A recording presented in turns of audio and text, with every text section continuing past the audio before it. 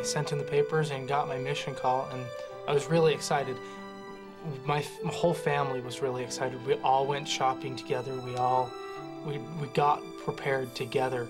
Um, we read Preach My Gospel together, and then off to Brazil I went. Part of the preparations of going on a mission are all the exciting things of shopping and collecting and gathering and um, spiritually preparing us, not only him, but ourselves, to let him go and trust in the Lord that He'd be taken care of. And that was a challenging thing when we were notified that he was ill and needed to come home. He came to grips with it before we did. I think it was it was hard for us for a few days until we got a call.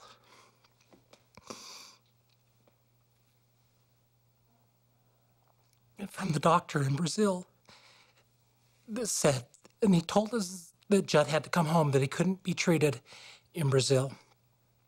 And the peaceful feeling that, that came over us as a family is, un, is indescribable.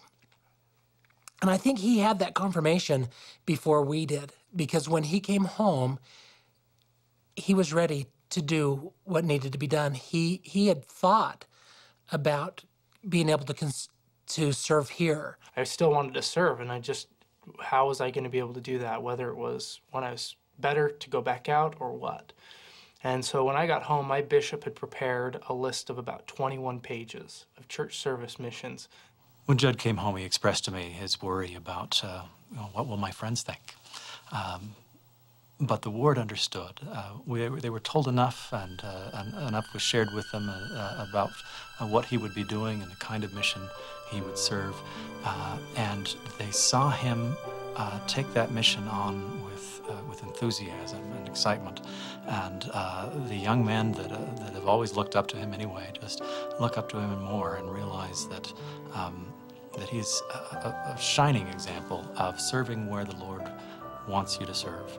Things come together thing, when, when they don't look like they're going to be coming together. You, I mean, you study and you pray and you, you, you read the scriptures and, and you do what you're supposed to. You go out and do your work and you do it willingly and faithfully and, and wholeheartedly. And you turn around and you come back and you have the energy to get back up in the morning and do it all over again only because you're serving the Lord.